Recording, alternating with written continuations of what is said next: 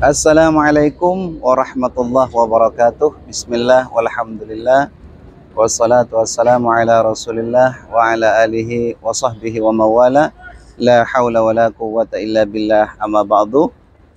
Bapak ibu para ikhwatal iman Para teman-teman youtube Sahabat-sahabat youtube Yang senantiasa dicintai dan dimuliakan oleh Allah subhanahu wa ta'ala di pagi hari ini, tepatnya pada tanggal 2 Desember di tahun 2023 di akhir tahun, yang insya Allah sebentar lagi kalau kita panjang umur mudah-mudahan ketemu dengan tahun yang baru yaitu tahun 2024.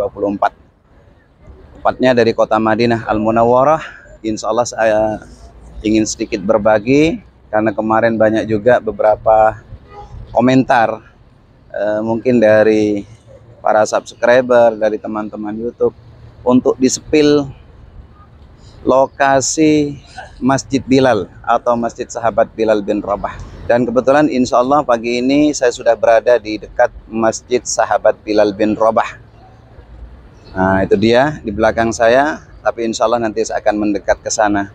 Namun sebelum saya membuat vlog ini, seperti biasa saya selalu mendoakan teman-teman semua Mudah-mudahan teman-teman semua, sahabat-sahabat YouTube, teman-teman YouTube, mudah-mudahan dikabulkan hajat-hajatnya, dikabulkan semua uh, cita-citanya, dan mudah-mudahan teman-teman juga senantiasa diberi kesehatan yang sempurna oleh Allah Subhanahu wa taala. Dan paling akhir mudah-mudahan teman-teman yang belum pernah menginjakkan kakinya kedua tanah suci Mekah Madinah segera dipanggil, dipanggil dan dipanggil oleh Allah bisa melakukan ibadah umrah ataupun ibadah haji Amin, amin ya mujibas sa'ilin. Dan perlu saya sampaikan untuk teman-teman semua, sebetulnya Masjid Bilal yang ada di kota Madinah ini uh, tidak ada sangkut paut sejarah di masa Rasulullah. Apa sebab? Karena masjid ini adalah bangunan baru.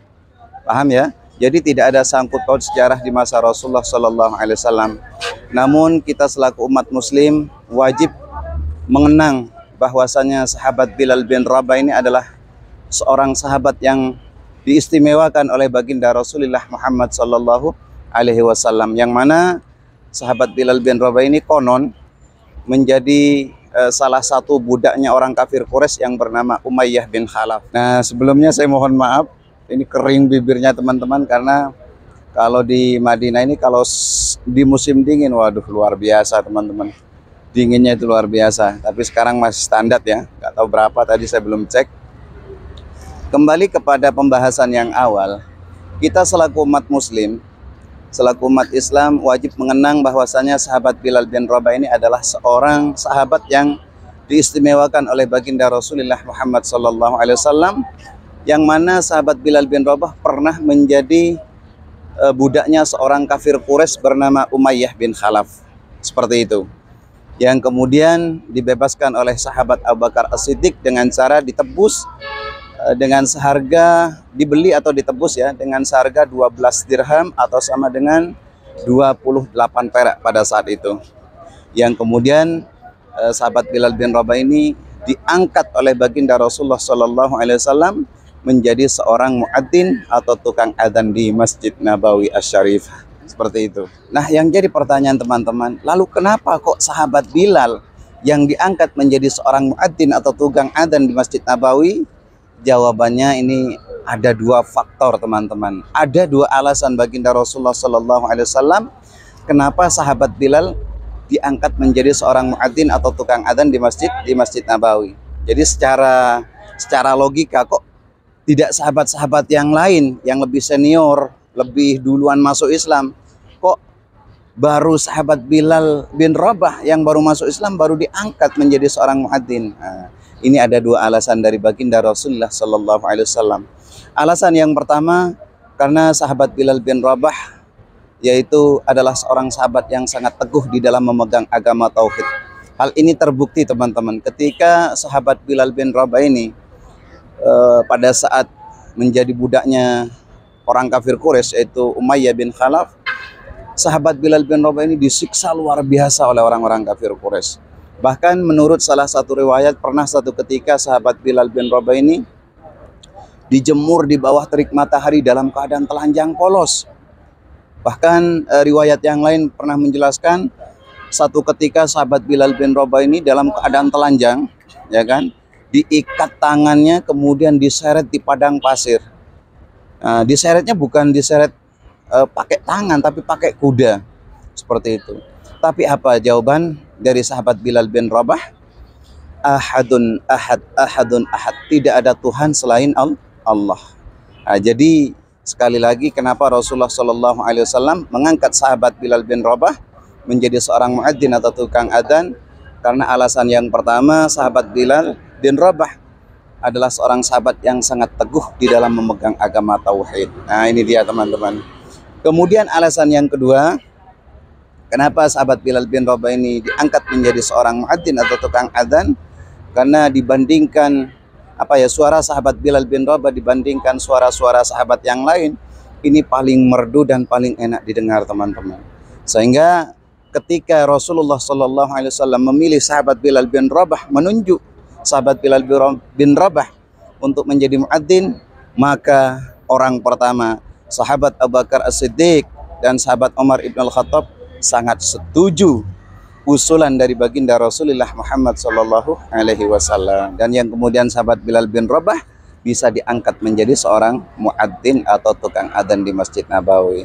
Inilah dua alasan baginda Rasulullah Sallallahu Alaihi Wasallam kenapa baginda Nabi mengangkat sahabat Bilal bin Rabah menjadi seorang muadzin seperti dan itu. Dan perlu saya sampaikan teman-teman, sahabat Bilal bin Rabah ini selain memiliki keutamaan yang dua tadi, eh, yang pertama dia sangat teguh di dalam memegang agama tauhid. Yang kedua, suaranya sangat merdu dan uh, enak didengar seperti itu ya. Ini memiliki keutamaan yang lain. Apa itu? Semenjak sahabat Bilal bin Rabah masuk Islam, beliau menurut riwayat tidak pernah terlepas dari wudhu.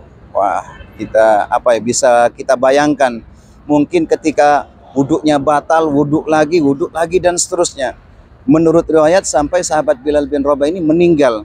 Jadi kebiasaan seperti itu sampai sahabat Bilal bin Rabah ini mening meninggal Bapak. Sehingga dalam beberapa riwayat juga dijelaskan bahwa ketika baginda Rasulullah Shallallahu Alaihi Wasallam melakukan Isra ya dari kota Mekah ke Palestina, dari Palestina dimi'rajkan oleh Allah ke langit pertama, kedua sampai ketujuh bahkan ke Ahdar bahkan ke Sidratil Muntaha setelah itu baginda Rasulullah diajak oleh malaikat Jibril keliling melihat penghuni surga dan neraka. Nah, pada saat seketika ketika baginda Rasulullah diajak oleh malaikat Jibril melihat penghuni surga, maka pada saat itu baginda Rasulullah mendengar bunyi sesuatu di surganya Allah Subhanahu wa taala. Sampai-sampai baginda Rasulullah bertanya kepada malaikat Jibril, "Mada sautu ya Jibril?" Suara apa suara apakah itu ya Jibril? Kemudian malaikat Jibril menjelaskan itu bunyi suara terumpahnya sahabat Bilal di surga. Masya Allah. Yang kemudian baginda Rasulullah Sallallahu Alaihi Wasallam bertanya lagi, kenapa ya Jibril kok bisa begitu? Maka dijelaskanlah oleh malaikat Jibril, karena semasa hidup sahabat Bilal bin Rabah tidak pernah terlepas dari wudhu. Masya Allah. Jadi ketika wudhunya batal, apa ketika wudhunya batal, wudhu lagi, wudhu lagi dan seterusnya sampai beliau meninggal. Nah, inilah mungkin uh, dari kisah singkat ini teman-teman uh, para subscriber, para penonton setia, kita bisa mengambil pelajaran penting, bisa mengambil iktibar dari seorang sahabat mulia yaitu sahabat Bilal bin Rabah. Karena pada hakikatnya wudhu itu tidak hanya dalam keperluan sholat saja, akan tetapi uh, kalau kita biasakan uh, sehari-hari kita selalu punya wudhu, insya Allah kita akan terhindar dari perbuatan keji dan mungkar. Artinya apa? Kalau kita punya aktivitas di sekolah, di kantor, dan di tempat-tempat yang lain, ketika kita sudah uh, punya wudhu, ketika kita mau melakukan perbuatan-perbuatan yang dilarang oleh Allah, satu contoh, contoh kecil aja ya, misalkan kita di kantor mau korupsi, mau berbuat uh, istilahnya kejahatan, kita insya Allah ingat, wah saya kan punya wudhu. Nah, insya Allah kita akan terhindar dari perbuatan keji dan mungkar. Mudah-mudahan kita selalu dijaga dan dijaga oleh Allah Subhanahu wa taala dan mudah-mudahan kita bisa mengamalkan uh, amalan dari sahabat Bilal bin Rabah yaitu selalu istiqomah dalam menjaga kesucian dirinya itu selalu punya wudhu teman-teman sehingga dalam beberapa hadis uh, pernah saya temukan dalam kitab At-Taharah idza tawadda'a al-'abdu muslim awil mu'min faghasala wajha kharaja min wajhi kulla khati'atin nadhara ilaiha bi'ainaihi ma'al ma' aw ma'a aw ma'a akhir qatril ma'. Jadi barang siapa yang berwudu kemudian dia membasuh wajahnya, membasuh wajahnya, maka akan keluar dosa-dosanya, dosa kesalahannya semua ikut dengan air tadi yang sudah diusap di wajah kita, teman-teman. Ini mengandung pelajaran penting yang luar biasa menurut saya. Baik, insya Allah saya akan menuju ke Masjid Bilal karena ini sudah dekat. Nah itu dia teman-teman Masjid Bilal bin Rabah. Tapi sekali lagi perlu saya menjelaskan bahwa bangunan itu adalah bangunan baru ya.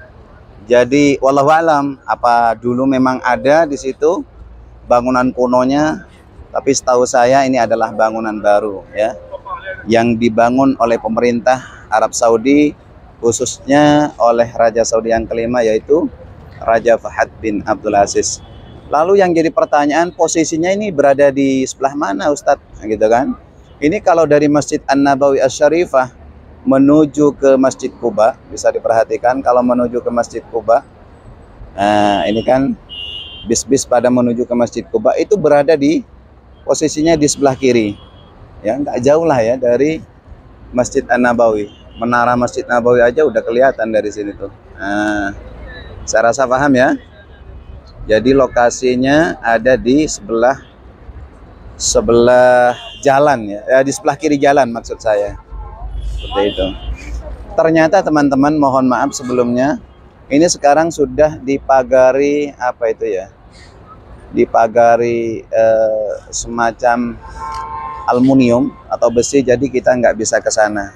Tapi gambarannya seperti itu. Jadi buat teman-teman yang tadi pengen minta di spill ya kira-kira seperti inilah itu masjid sahabat Bilal bin Rabah.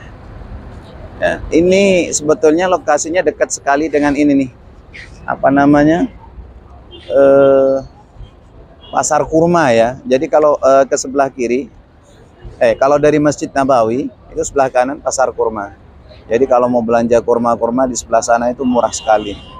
Nah, kemudian kalau ke sana ini banyak sekali rumah makan. Nah, biasanya kalau uh, apa ya owner-owner travel kemudian jemaah yang udah sering ke sini udah tahu persis bahwa di sini adalah pusat kuliner ya.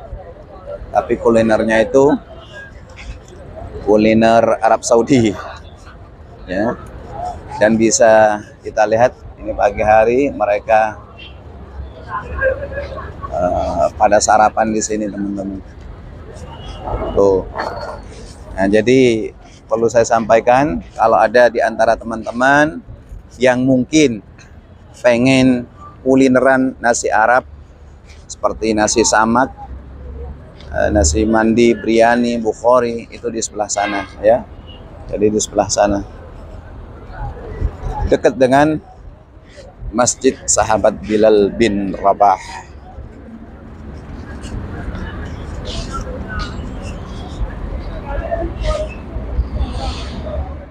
Nah teman-teman kira-kira itu tadi yang dapat saya sampaikan. Nah, Di belakang saya itu Masjid Sahabat Bilal bin Rabah.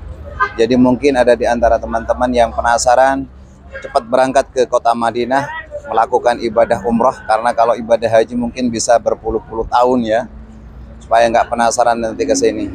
Jadi mudah-mudahan permintaan dari para subscriber, para penonton setia, mudah-mudahan eh, sedikit memuaskan.